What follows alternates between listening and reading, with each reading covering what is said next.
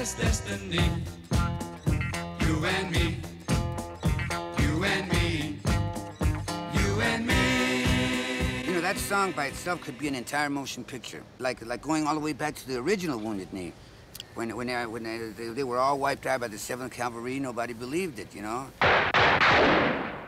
Wounded Knee ligt ver weg, verborgen in de grote grasvlakte van Zuid-Dakota. Voor de gewone Amerikaan is het niet meer dan een toeristenattractie. Waar het massagraf te zien is van de Sioux-Indianen, die daar in 1890 door het Amerikaanse leger werden afgeslacht. Dinsdag 6 maart van dit jaar werd Wounded Knee bezet door een 200-tal gewapende Indianen. Een vertwijfelde poging om hernieuwd de aandacht te vestigen op de slechte levensomstandigheden van Amerika's oorspronkelijke bewoners.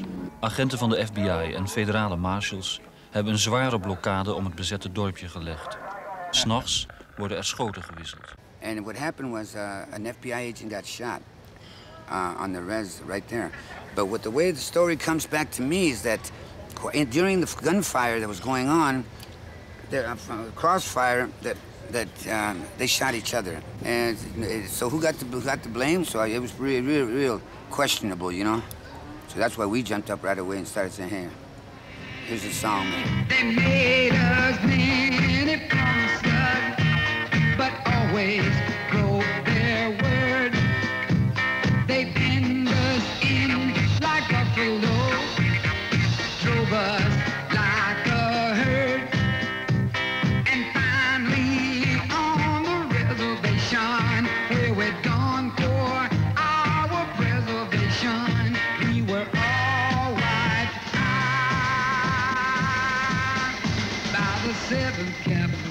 got together with a friend of mine by the name of Sandy Barron, and uh, we set up.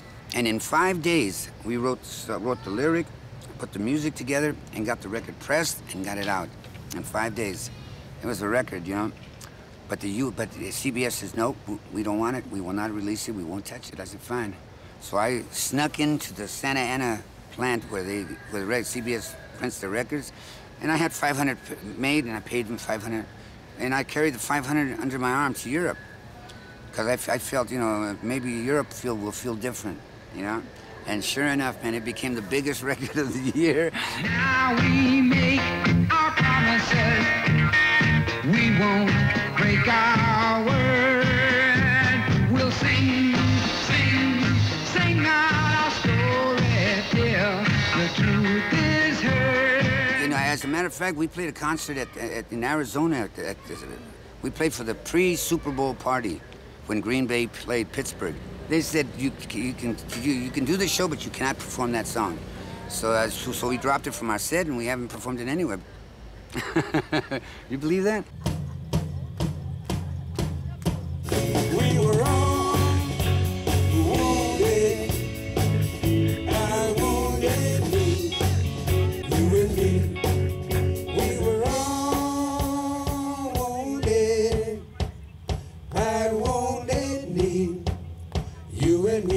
Just to remind people, uh, keep keep everybody, uh, you know, keep you know, never never get uh, lazy and not think about keeping things right. You know, you always got to stay on your toes and remember the past, or you're doomed to repeat it. You know. There's a whole new generation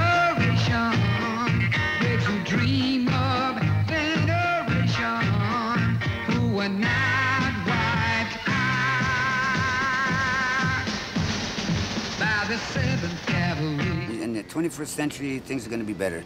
Things are looking good. I'm, I'm here with, I'm here in uh, Tuba City, you know, with the parade and the, fe- and the fair, and the people. You, you've, you've been here, and you know, it's wonderful. You know, it's, and that's and, and you know, you don't find just Native Americans. You find white people, you know, whites. You find blacks. You find, and everybody's here in harmony. Not, not, you can't even, not even a hint of problems, of trouble. You know, and and that's that's where it's at. And that's what that's what we want. That's what Native American wants beautiful peace, harmony, and beautiful sunshine day days, and, and God smiling down and saying, "Yeah, that's it," you know.